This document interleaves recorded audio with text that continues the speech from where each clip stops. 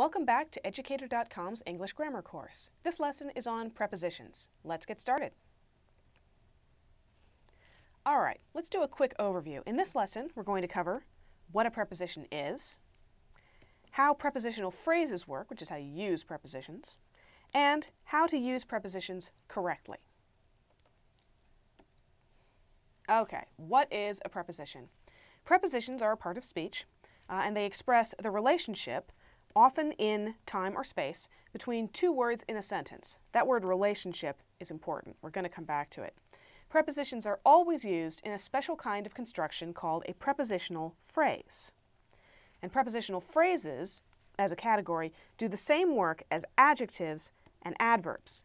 Now, you'll remember from our previous lessons that adjectives modify nouns or pronouns, they describe them, and adverbs modify verbs, adjectives, and other adverbs.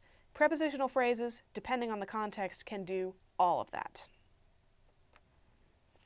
All right, here we have a few examples of prepositions. We have about, above, across, after, against, along, around, at, and on and on, during, inside, into, near, off, on, outside, oh, we had inside back in here, of over, past, through, toward, all of these are prepositions and there are many, many more in the English language. You can find lots of lists of prepositions. If you're trying to identify them, memorization is absolutely essential here. You're just going to have to memorize these words.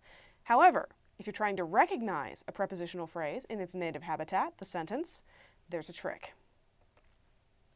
Think of a preposition as anything you can do to a log. Okay, you're walking through the forest and you find a log. Well, you have some options. If you're in a hurry, you can step over the log. If, you're, if you feel like getting a little grubby, you can crawl under the log. If it's a hollow log, you can go through the log. You can walk along the log like the man in the picture is doing. If you're a friendly sort of person, you can make friends with the log. If you and the log have a fight, you can go home without the log. You can tell all of your friends about the log. You can run around the log. You can look beyond the log. You might have noticed a common construction in these sentences. They all use prepositions to refer to the object log. So when you're looking for prepositions, just think of anything you can do to a log. All right, prepositional phrases. What are they? I've used that a bunch of times in this lecture so far. Prepositional phrases always begin with a preposition and they end with a noun or pronoun that's known as the object of the preposition.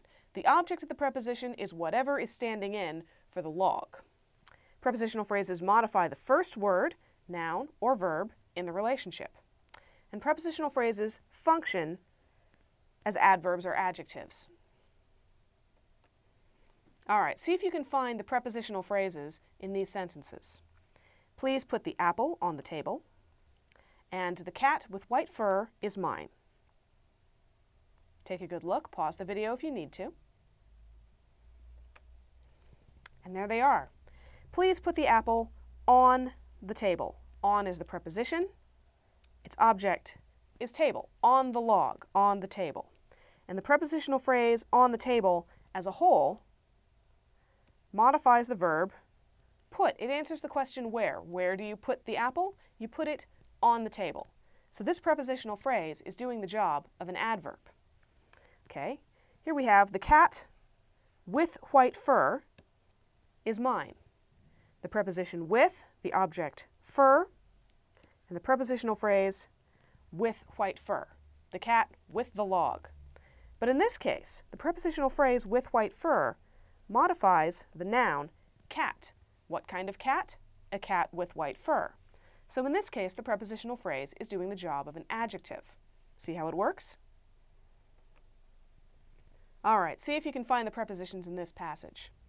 On the first day of June, Mike took his dog to the park in the afternoon.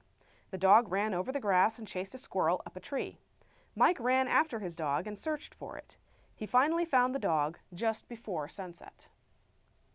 Take a good look. There's plenty of prepositions in here. And there we have it. On the first day of June, Mike took his dog to the park. To the park in the afternoon. And the prepositional phrase on the first day and of June both tell you when Mike performed his action. So they both modify the verb took. They're acting as adverbs. He took his dog to the park. Well, that tells you where he took his dog. So again, it's acting as an adverb. And he took the dog to the park when? In the afternoon. Once again, acting as an adverb, all of that modifying took. Those are some very busy logs. The dog ran over the grass and chased a squirrel up a tree. Both of those tell you where something happened. Where did the dog run? Over the grass. It's modifying ran, so it's acting as an adverb. And where did the dog chase the squirrel? Up a tree. Modifying chased, and again, acting as an adverb. Mike ran after his dog. Preposition after, object dog. Whole prepositional phrase modifies ran again. And searched for it. Modifying searched. He finally found the dog just before sunset. Whole prepositional phrase modifying found. Okay, here's how to use prepositions correctly. First and foremost, always use prepositions in prepositional phrases. If you have a preposition, it belongs in a prepositional phrase and nowhere else. Second, use prepositional phrases as you would use adjectives or adverbs. As we saw in the previous example, all of those prepositional phrases happen to be modifying verbs. They all acted as adverbs. We could have put adverbs in there, but the prepositional phrases happen to be more specific. So, once you've got a prepositional phrase as a block, you can throw it anywhere in the sentence that it would make sense as an adjective or adverb.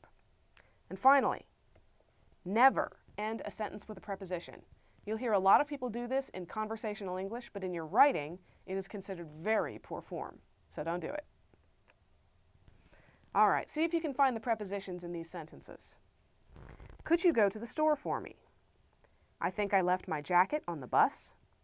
Human beings cannot live very long without drinking water. The letter was hidden behind the painting, tucked inside the frame. The little girl had a smile on her face and a song in her heart. And between the houses was a small garden. Take a good look, pause if you need to. And here they are. Can you go to the store for me? Two prepositional phrases, both modifying the verb go. Can you go where? To the store. Can you go why? For me.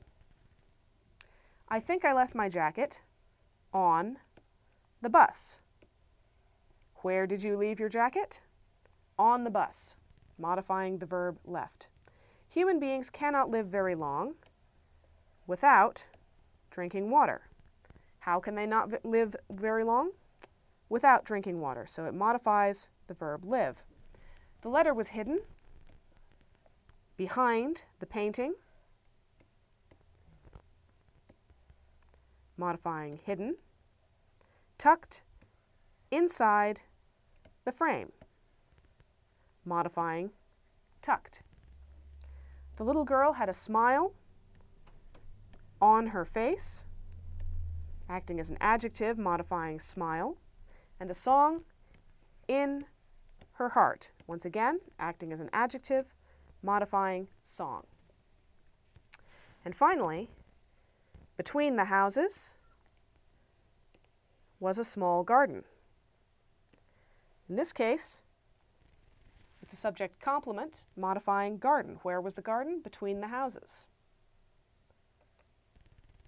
All right, see if you can find the prepositions and prepositional phrases in this famous quotation. We shall not flag nor fail. We shall go on to the end. We shall fight in France and on the seas and oceans. We shall fight with growing confidence and growing strength in the air. We shall defend our island whatever the cost may be. We shall fight on beaches, landing grounds, in fields, in streets, and on the hills. We shall never surrender. Winston Churchill from a speech he gave in 1940. Take a good look, see if you can find the prepositions and their phrases. And there they are. Winston Churchill was a man who loved his prepositions. We shall not flag nor fail. We shall go on where? To the end. We shall fight where? In France. And also on the seas and oceans. Once again, you've got nouns acting as the objects of the preposition on. We shall fight how? With growing confidence and growing strength. In the air. We shall defend our island, whatever the cost may be. We shall fight on beaches and also on landing grounds, in fields, in streets, and on hills. All of those answering the question, where? So all of them acting as adverbs. We shall never surrender. And there's your, and there's your examples of prepositions.